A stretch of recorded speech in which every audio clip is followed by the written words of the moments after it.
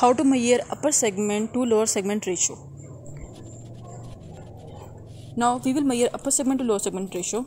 It is also known as trunk to lower limb ratio. It is actually trunk to lower limb ratio.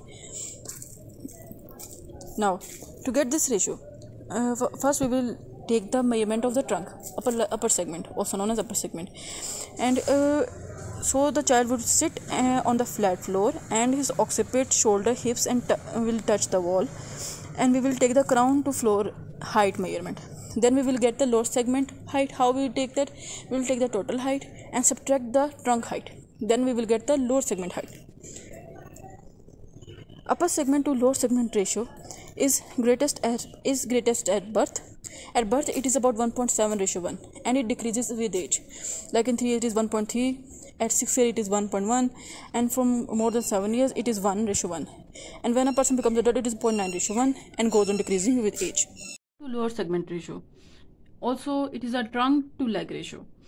And uh, for this we require that both the surfaces the floor and the wall should be flat and vertical and horizontal surfaces should be uh, like marble smooth surfaces.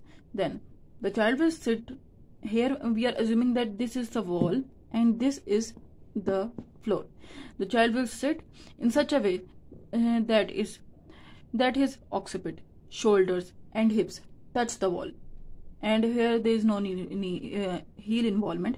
We will all, only take the upper segment height now we will measure the height from above like this and we will measure it up to the uh, floor level this is the upper segment height.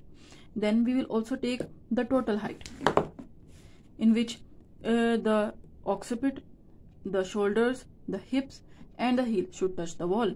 And then we will take again the uh, with uh, that we'll again take with this uh, scale and measure up to floor and this is the total height and these two measurements will be taken and will be used in the formula of upper segment to lower segment ratio